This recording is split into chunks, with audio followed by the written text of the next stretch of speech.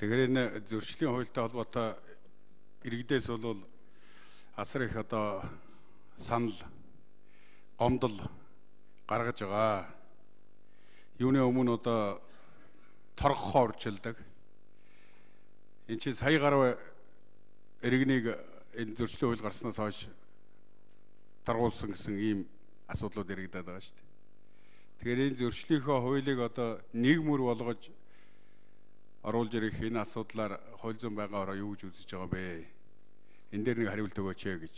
Хоёрдугаарх нь бол тэр малын улгайтай холбоотой асуудлыг түрүү их хурлын дарга хэлсэн. Эх 7 хоногт энийг хэлцээд ингээд одоо нэг дөрвтэй одоо эцлээд нэг шийдвэр гаргаж өгөөмөр байна. Энэ хамгийн гол нь тэр 24 бог 8 бод гэж яриад байгаа. За энийг зүгээр тоо хэмжээнийх нь хувьд багасгаад бол бүрэн хэмжээнд шийднэ гэж үзэж болохгүй байгаамаа. Энэ малын хулгай гэдэг бол одоо өнч ёстой өнчийн ишгч байсан энэ бол одоо шийдгэлээ авдаг. Ер нь одоо тавчхандаа хэлэх юм бол ялын бодлогыг нэлээд чангаруулах ийм шаардлагатай байна гэдэг энэ асуудлыг бол иргэд сонгогчдын зүгээс удаадраа тавьж байгаа. Энийг одоо анхаармаар байна. За хамгийн сүүлд нь одоо нэг хэлэх зүйл бол энэ юутай холбоотой юм. Одоо тэр эрүүгийн хуулийн нөгөө хөн хөлцөх хугацаатай холбоотой асуудал байна. Энэ асуудал чинь одоо бидний энэ өнөөдрийн хэлцэж байгаа энэ хууль энэ асуудлыг шийдэх үү хууль зүйн байнгын хараад байгаа. Энэ дээр одоо нэг одоо энэ чи асуулт хариулт өгөхгүй учраас ер нь одоо асуулт гэж ойлгоорой. Та дараа нь үг хэлэхдээ энэ дээр хамруулаад хэлээд гэрээ.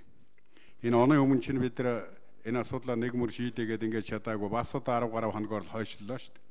Тэгэхээр энэ хүн хэлцэх хугацаатай холбоотой асуудал хойшлох тусам тэрний цаа талд одоо ял завших боломж нь нэмэгдээд байна гэдэг ийм асуудлууд байгаа шүү. Тэгэхээр тэр асуудлыг одоо нэг талд нь гаргаж шийдэх хэрэгтэй байна. За нөгөө талынх нь бол энэ бид уучлахгүй иргэний хөдөлгөөн мөнх цэлмэг гэдэг тэргүүн нь Энэ хүмсүүдтэй одоо бид бол хууль зүйн байнгын хороо руу одоо шилжүүлсэн.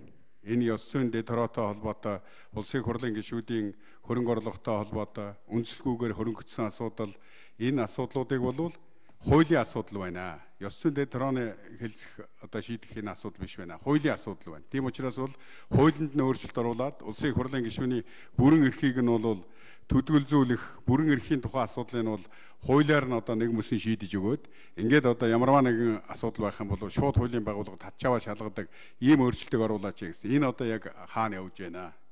Ийм ийм зүйлүүдийг та дараа нь миний дараа үг хэлэх юм байна. Энэ үг хэлэх дээр дашрамд нь хамт татгаад хэлээд өгвөл их сайн байна гэж